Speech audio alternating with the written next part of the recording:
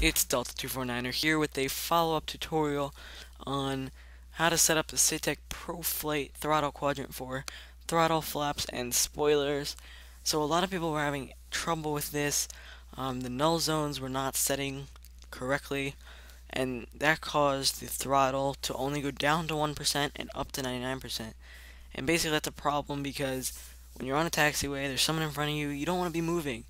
Uh, and you have it on idle, you think you have it on idle, but really it's at 1%. And 99% um, is a problem when you're taking off because you need it at 100% sometimes, so like you sometimes could not take off and it was kind of a pain. Um, so basically you cannot fix it in the flight simulator program itself but um, you have to go into a file and change a value so even if you tried to put it at zero, it didn't go to zero.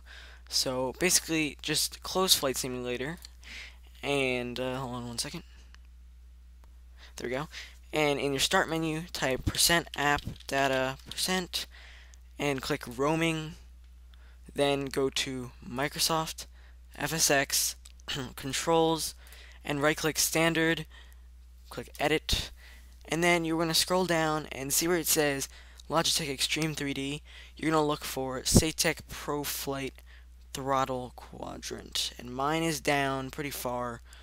Um, this also works for the yoke, so the same value you're going to change um, just on the yoke, under the yoke uh, category. So see it says Saitek Pro Flight throttle quadrant, some numbers, and then name, blah, blah, blah. Um, you want to find where it says axis throttle set and you want to change the AX null here, this thing right here, the number to 0, and you want to save it, and that's all you have to do. It should work.